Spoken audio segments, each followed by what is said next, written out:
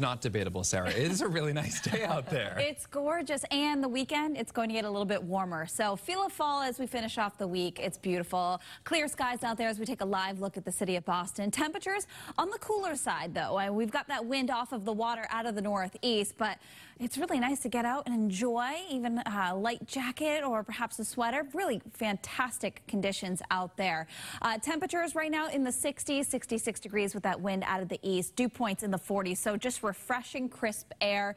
Temperatures all around, mainly in the 60s. A few gusts over 20 have been reported across parts of the coast, but overall, what we're watching is some warmer air to our west that will work on in. This warmer chunk of air behind a warm front and ahead of a cold front that will push eastward through the weekend. So high pressure in control today.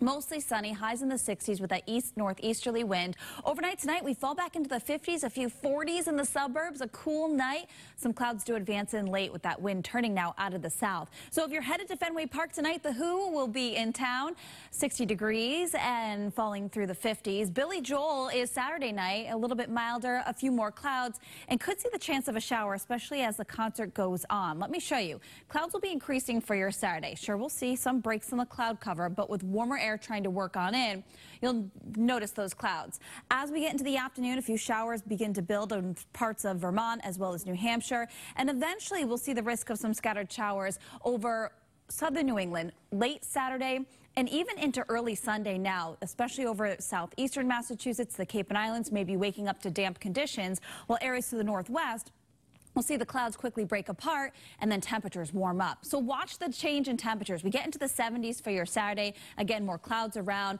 and really warm on Sunday, a little less humid as temperatures will rebound into the upper 70s, low 80s. I think for the Cape and Islands, you'll stay mainly dry on Saturday with temperatures in the 70s, but by Sunday, you'll see the risk of those morning showers with improvement as we go through the afternoon. If you're headed up to New Hampshire, be aware your best chance of showers will be on Saturday. While we'll see improvement improvement Sunday. We'll see clouds breaking apart and sure enough temperatures into the lower 80s. One other thing we're watching too away from us, of course, is uh, Tropical Cyclone 9 likely going to become a tropical storm as we go over uh, through the day into the weekend, we do have tropical storm warnings in place for parts of the Bahamas. Now a tropical storm watch for parts of the eastern coast of Florida as the storm is expected to become a tropical storm uh, scooting along the eastern coast of Florida over the weekend. From there, we'll have to see what happens, but it does look as though it could be tracking out to sea as it becomes a hurricane into next week. As for our forecast next week, we'll be watching it closely, but right now,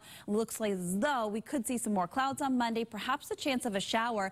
Otherwise, we'll be seeing high pressure build on in, providing bright conditions and temperatures in the 70s. Brianna?